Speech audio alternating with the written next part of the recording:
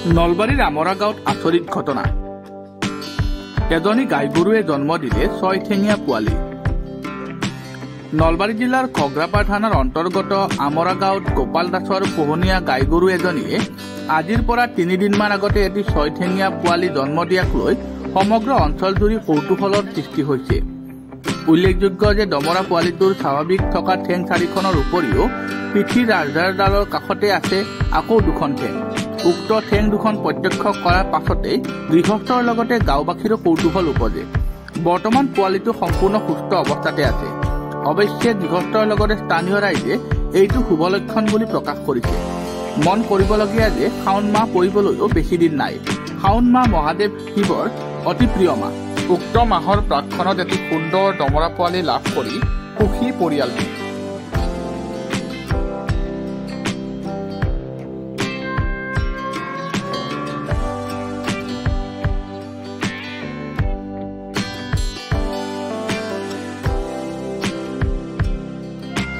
পোৱালিটো ছয়খান ছয়খান থাকে হয়। তাৰপিছত আমি এইটোৰ কাৰণে কেইবাজনো মানুহক সুধিলোঁ। সোধাত তেওঁলোকে আমাক কিছু কিছু উপদেশ দিলে যে একো বেয়া নহয় খুব যত্ন ল'বা। পোৱালিটোৰ প্ৰতি ঠিক এনেকুৱা কিছুমান আমাক উপদেশ দিলে। সেই উপদেশ মতে আমি চলি আছোঁ। আৰু কিছুমানে হয়তো নৈবেদ্য দিব কৈছে কল দিব কৈছে লাড়ু দিব কৈছে। আৰু এঘাৰ দিনত এখন কলপাতত পাঁচটা নৈবেদ্যৰ ভাগ দি বেলৰ তলত সেৱা আত্মন কৰিব দিছে। ঠিক তেনেকৈ আমাক উপদেশ দি আছে। যোনে যিটো কয় আমি সেইটো শুনি আছোঁ ডাঙৰ ডাঙৰ মানুহৰ কথা। পূজা পাতল কৰিছে নেকি? পূজা পাতল আমি কৰা নাই কিন্তু এনে আমি চাকি ধূপ ধূনা জ্বলাই দি আছোঁ।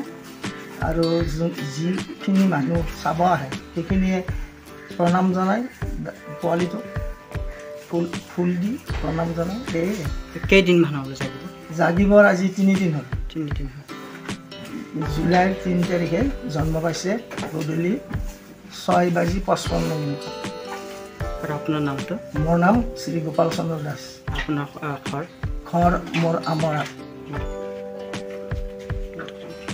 কেইদিনমান হ'ল এই পোৱালিটো আজি তিনিদিন হ'ল। সোমবাৰে